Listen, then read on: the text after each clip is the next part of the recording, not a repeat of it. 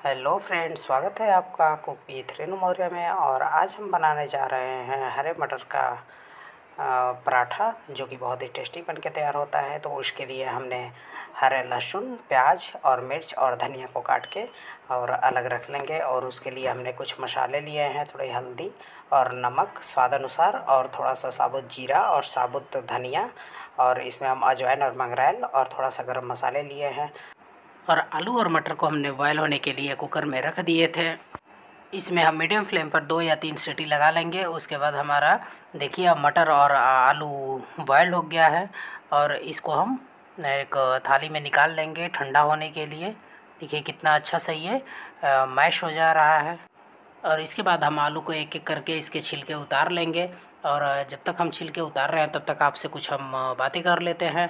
और हमारे जो चैनल है, आप उसको सब्सक्राइब कर लीजिए और हमारे वीडियो को लाइक करना नहीं भूलिए।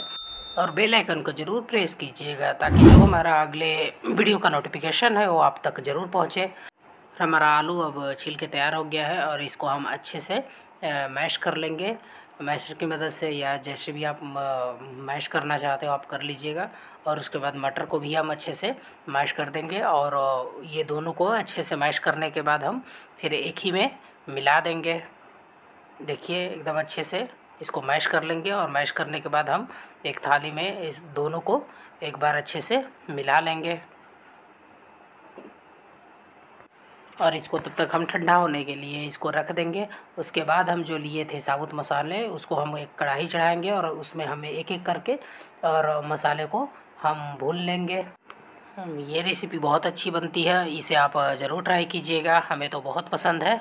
और देखिए, हमारे मसाले अब भुन गए हैं तो इसको हम निकाल लेंगे, और निकाल के और थोड़ी देर ठंडा होने देंगे, उसके बाद हम इसको चकले और बेलन पे रख के हम ऐसे दरदरा कूट लेंगे।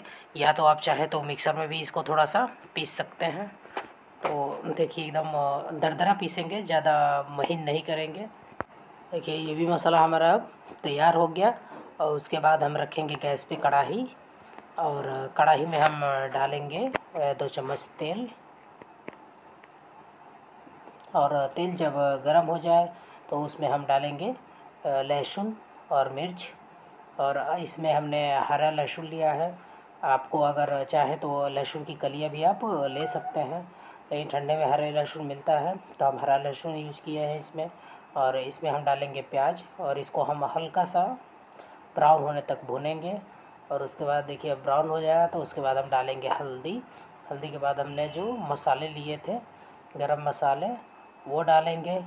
उसके बाद हम डालेंगे इसमें जो मसाले हमने तैयार किए थे, वो वाले मसाले डालेंगे और डाल के हम इसको अच्छे से भून लेंगे थोड़ा सा, दो मिनट भूनेंगे।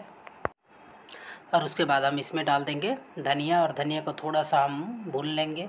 ताकि उसका जो टेस्ट है वो मसालों में मिल जाए।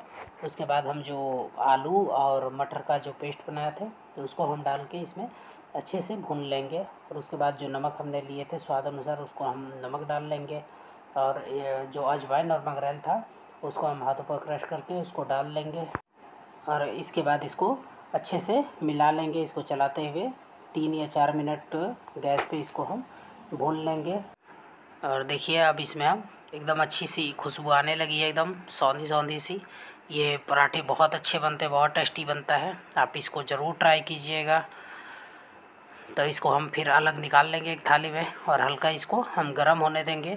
उसके बाद से हम अब पराठे बनाने शुरू करेंगे।